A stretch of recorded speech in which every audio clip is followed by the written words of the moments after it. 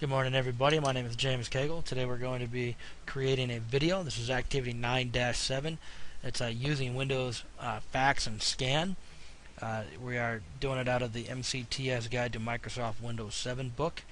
Uh, let's go ahead and get started. Basically we're going to set up a set up a fax and then we're going to make some changes to it and save it and we're going to look at it.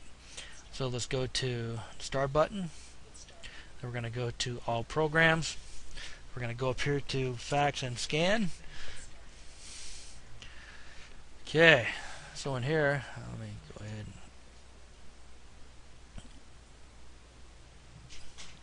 Let me hang on a second. Let me go back here. Windows fax and scan. Okay. So from in here, what we're going to do is we're going to just kind of look around and we're going to go to up here. We're going to right click here. We're going to go to properties. This is what it is. This is your fax thing. Uh,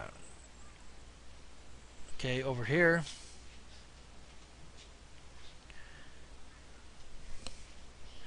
Okay. In the top of the middle of the pane. Alright. We're going to go bam. We're going to go view, zoom, we're going to fit the page. Alright, that way you can kind of look at the whole thing. You kind of look it over and see what you like, what you don't like, if it needs to be uh, changed. Okay, we're going to go, we're going to click on Tools. We're going to go to Sender Information.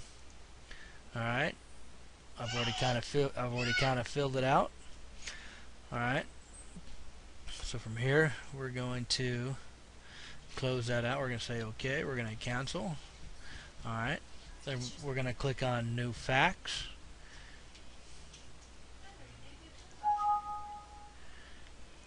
So what you what you do is you click on New Fax and you, you type in a number. That's where it's going. This is test fax. But this is my first uh, test fax. Okay and then come up here. Okay we're gonna go ahead and close it out. And yes you want to save it because it's saving it as a draft draft okay? And then we're gonna make sure we got it. We're gonna make sure everything's okay. We're gonna come on over here to drafts. We're gonna go bam we're gonna go here double click it. There you go. And that is how you used it. You know and if you were I wanted to send it we could have sent it but uh, here we're just kind of learning how to um, to set it up and fill it out. Alrighty, thank you for watching.